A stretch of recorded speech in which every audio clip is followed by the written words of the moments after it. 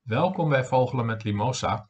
Ik sta weer aan het uh, Balgzand Polder bij Den Helder uh, om te kijken naar deze jonge lepelaar.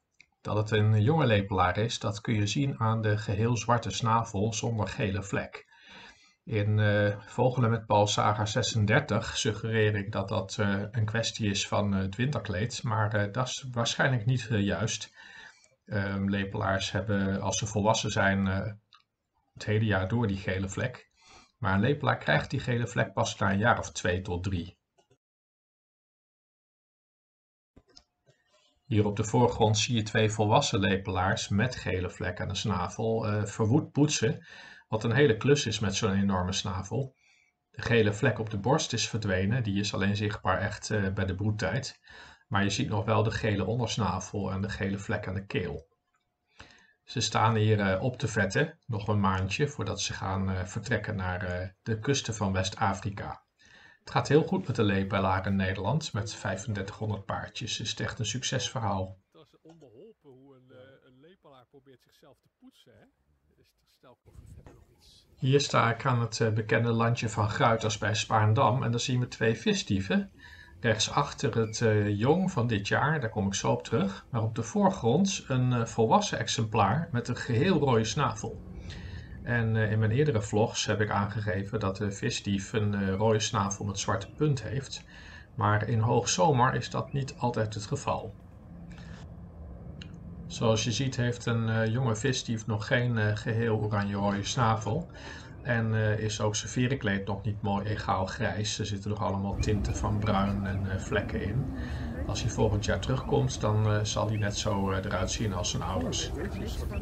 Hier zie je twee vestieven, met name de linker, die duidelijk wel een zwarte punt hebben aan de snavel. Echt apart.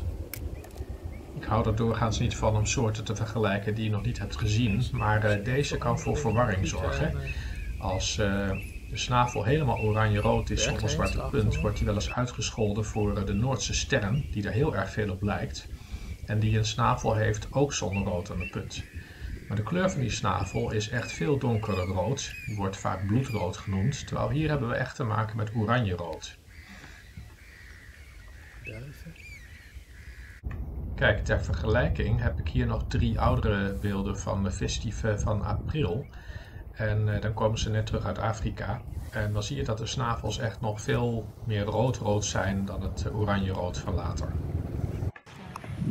Hier ben ik eind mei op de Marker Wadden, dat prachtige nieuwe natuurgebied in het IJsselmeer. En op een van de zandgrindpaden zag je deze kleine plevier. Helemaal ingedoken met gespreide vleugels en staart. Af en toe kijkt hij om.